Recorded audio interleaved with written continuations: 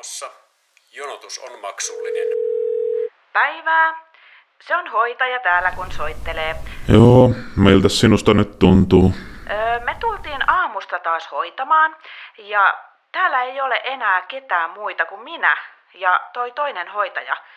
Esimies kertoi, ettei enää tarvii hoitajia olla kuin 0,3. Oli tullut ylemmältä joholta käsky. Se olisi lounasaika nyt ja puolet asiakkaista on vielä pesemättä ja me ei oikein enää jakseta, että mitäs me nyt tehdään? Onko teillä siellä jotain tuntemuksia asian suhteen? Että mitenkä? Voit ihan luottamuksella kertoa. Mitä toi ukko tuolla horisee? Olisi voinut reagoida toisin tähän ja varmasti moniin muihinkin asioihin.